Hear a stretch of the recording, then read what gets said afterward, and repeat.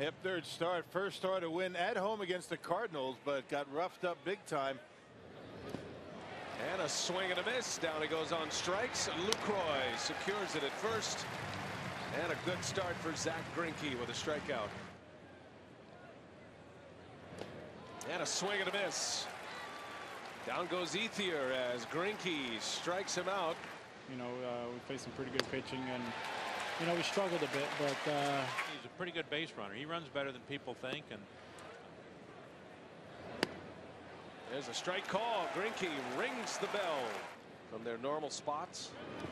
There's a swing and a miss. And Lucroy blocks it and secures the strikeout. Got him. Greinke strikes out Ethier.